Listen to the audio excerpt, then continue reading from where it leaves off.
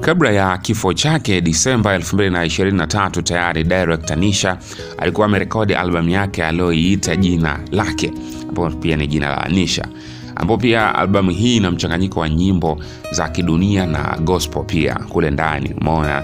Na katika kumwenzi eh, kwenye siku yake ya kumbukizi ya kuzaliwa, nazungumzia Julai 8, uh, lebo yake ya Nisha Entertainment imeiachia albamu yake yenye takribani nyimbo 16 na korabo kadhaa za wasanii wa Bongo Flava maona akiwemo uh, Dogo Janja, Country Boy pia uh, Climax, Bibo, Gentries na wasanii wengine wengi kinoma.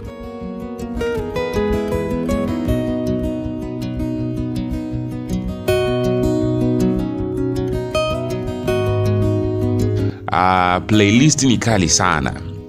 Uh, nyimbo zote ukizisikiliza ziko poa sana, umeona. Kuna nyimbo inaitwa so fresh, kuna on top, kuna pepa, kuna party, kuna crazy, kuna na kuacha am single, yule ye yeah yeah, sio mbaya, nataka kuwa hapo, asante. Lakini pia hapo ni nafasi ya kumi na mbili na zile bonus tracks zote so zimewekwa pale. Kuna hizi bonus track, kuna my time ambao pia ndo kuna country boy kule ndani, kuna dogo janja pia ametisha, climax bibo the same, kuna uwe wangu mona gentries kule ndani kahusika.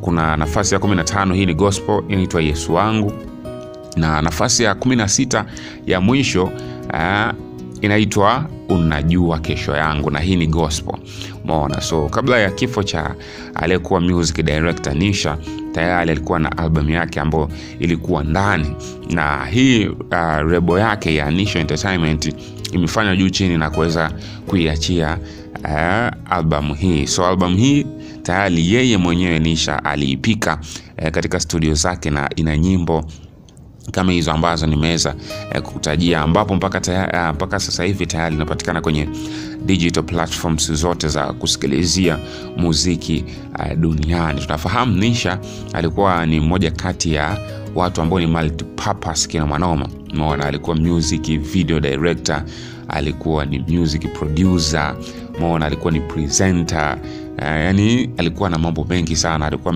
amejimix kwenye mambo mengi sana, na huyu alikuwa ni mtoto wa nabii mkuu Joe Devi kutoka hapa hapa Arusha, ambaye pia eh, ni kiongozi wa ngurumo ya upako umeona kule Kisongo. So sisi tunaendelea kumwombea apumzike kwa amani. Ametuachia zawadi ambayo pia eh, siku zote itaendelea kuishi kwenye mioyo yetu, kwa sababu wengi tunaamini sote hiyo ndiyo njia yetu, kote kule sisi lazima tupite. Umeona, wote tumekuja duniani na hamna ambaye atawaacha kupita huko. Rest in peace brother Nisha, rest in peace legend, tunaweza tukaita hivyo kwa sababu ni moja kati ya watu ambao wamechonga njia za watu wengi. Umeona, kuna watu kipindi cha msiba wake eh, mimi pia binafsi nilihudhuria nili pale kwenye msiba wake. Wengi sana walitoa shuhuda mbalimbali pale kanisani kwa nabii mkuu wakionyesha mazuri yake ambayo pia aliweza kuyafanya kwenye maisha yao kwa kuwasaidia, kwa kuwapush eh, kwenye njia moja ama nyingine, lakini pia kwa kuwaongoza kwenye vitu kadha wa kadha. Umeona, so that's why mimi nakaa hapa nakuambia kabisa Uh, Nisha alikuwa ni moja kati ya best best brother in the world. Ona, a resting brother Nisha, bado tunakukumbuka, utaendelea kuishi kwenye mioyo yetu. Hii hapa ni Kiswahili TV kutoka Arusha. Mimi naitwa Simon, endelea kusubscribe YouTube channel hii, lakini pia endelea kuwa karibu na sisi.